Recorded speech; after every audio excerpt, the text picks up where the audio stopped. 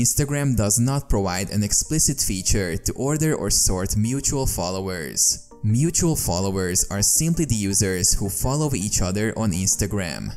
The order in which mutual followers are displayed may vary based on several factors. Recency of interaction. Instagram often shows the most recent interactions or engagements with your content at the top of the follower list. This means that users who have recently liked, commented, or interacted with your posts may appear higher on the list. Algorithmic relevance. Instagram's algorithm considers various factors to determine the order of followers. This includes the frequency and depth of engagement, shared interests, and previous interactions. The algorithm aims to show you mutual followers who are more likely to be relevant and engage with your content personalized experience. Instagram may prioritize showing mutual followers who you frequently engage with or have a closer relationship with.